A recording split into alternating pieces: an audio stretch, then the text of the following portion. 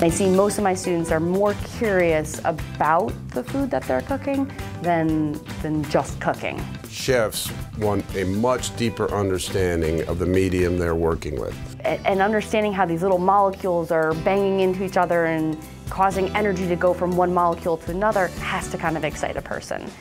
All of a sudden they're like, well, I got the concept, I understand the cooking, and now putting those two together, it, they, it, it's like fireworks going off sometimes. The Culinary Science program here at the college, it's a blending of the culinary arts and food sciences. Traditionally, these two realms have been separate. We've come to realize that as the food world's changing, those two spaces are blurring and overlapping. Really what companies are looking for is people who can wear two hats.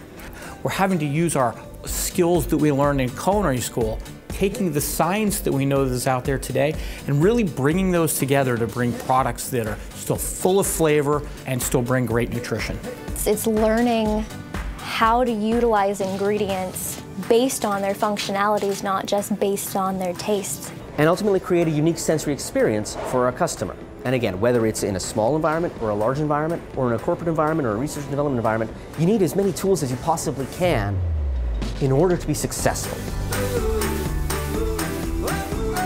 It is a little tough when we just start talking about atoms and talking about how carbon forms, you know, four bonds and things like that.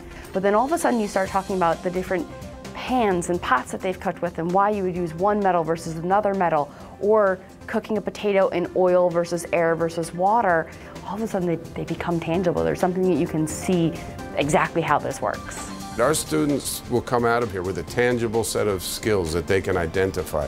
They've learned about spectrophotometry on a couple different pieces of equipment. And we have 21 controlled vapor technology units. Our texture analyzer. We've got a colorimeter, we've got rheometers. They use centrifuges.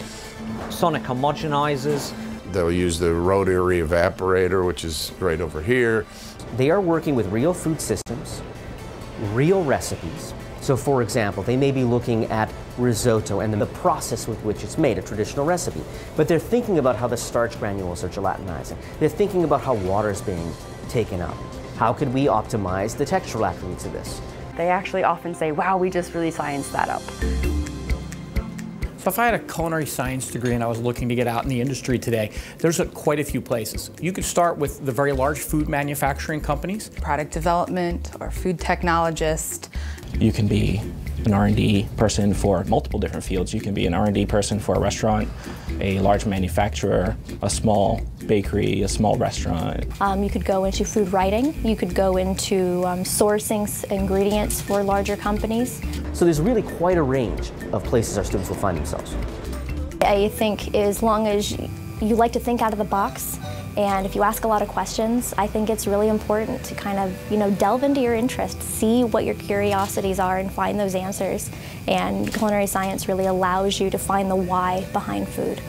So if somebody wants to be at the cutting edge of this industry, culinary science is definitely a path to get there.